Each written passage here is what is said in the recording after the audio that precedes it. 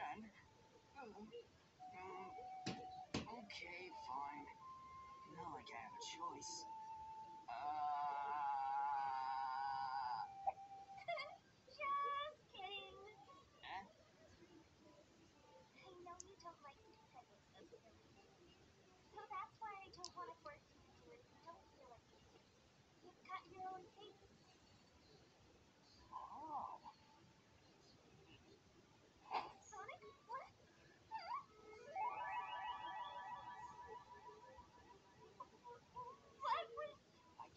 decide